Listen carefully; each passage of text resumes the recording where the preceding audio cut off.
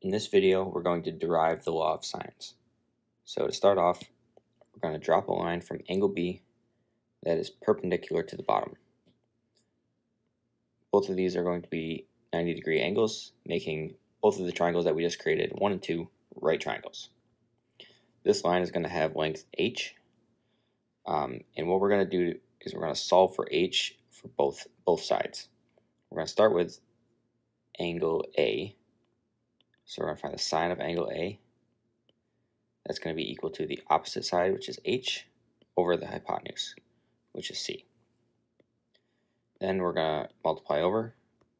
So we're going to have c sine of A equals h. So that's step one. Step two is to do the same thing on the other side. Sine of c equals opposite, again that's h, over hypotenuse, a multiply the a across, we have a sine c equals h. So we can see that both of these equations are equal to h. So we're actually going to set them equal to each other. c sine a equals a sine c. Last step is to divide both of these sides by ac, which lets us cancel out, cancel out these c's and these a's. And then what we're left with is sine of A over A equals sine of C over C.